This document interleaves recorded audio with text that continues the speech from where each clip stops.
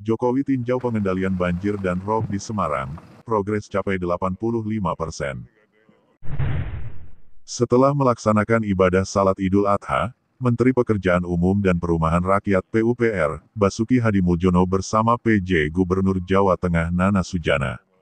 Wali Kota Semarang Heverita Gunaryanti mendampingi Presiden Jokowi melakukan peninjauan pengendalian banjir dan rob tahap 2 dan penataan kawasan kampung nelayan Tambak Lorok di Semarang.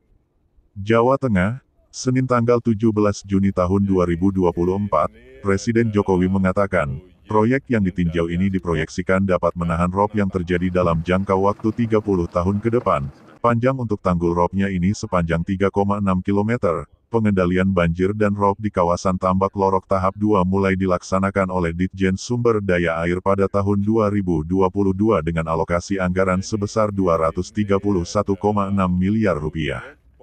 Sementara, penataan kawasan kampung nelayan di Tambak Lorok dilaksanakan oleh Ditjen Cipta Karya mulai Mei tahun 2017 dan selesai pada April tahun 2019. Jumlah anggaran yang dialokasikan untuk penataan kawasan tersebut sebesar 45,6 miliar rupiah dan progresnya sudah mencapai 80 persen.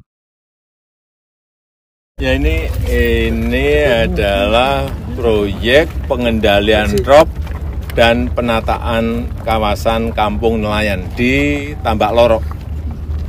Yang panjangnya untuk apa ini? Tang tanggul robnya ini 3,6 kilo. Sepanjang 3,6 kilo untuk pengendalian rob yang ada di Tambak Lorok dan juga penataan kampung nelayan saya kira dalam jangka 30 tahun minimal itu bisa menahan rob yang terjadi. Kalau sejauh ini efektivitasnya seperti apa, Pak? Ya ini kan baru dibangun. Progresnya Nanti kalau gimana? udah kalau udah rampung baru kelihatan. Kalau dilihat pas tinjauan hari ini progresnya seperti apa Pak? Sudah Nanti akan selesai bulan Agustus. Ya.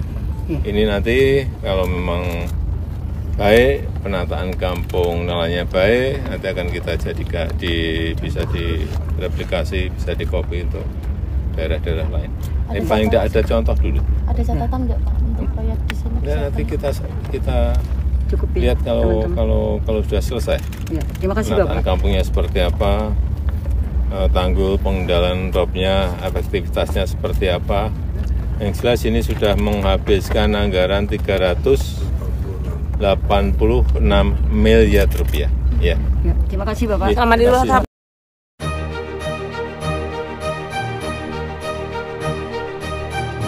Dari Bogor, Ilham mengabarkan.